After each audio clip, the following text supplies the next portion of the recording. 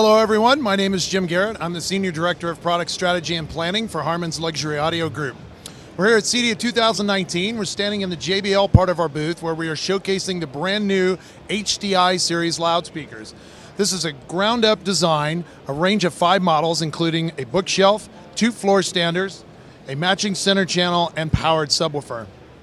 As the name implies, it's based around our patented high definition imaging waveguide geometry.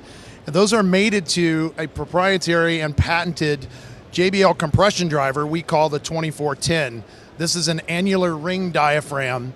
The performance combination that we get out of this compression driver and waveguide is simply second to none. Astonishing dynamics, ultra low distortion, no power compression in them.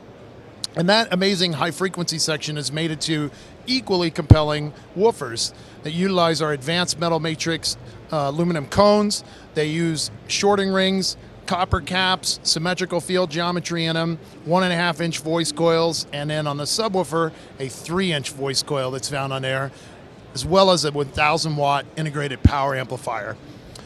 The entire range is offered in a choice of three finishes. So we have our satin wood veneer finish offered in both gray oak and a walnut veneer, and a third option of a piano black, gloss black painted finish. All of these products will be available starting in the first quarter of next year, roughly January, and you'll be able to find more information about these by visiting our website at www.jblsynthesis.com.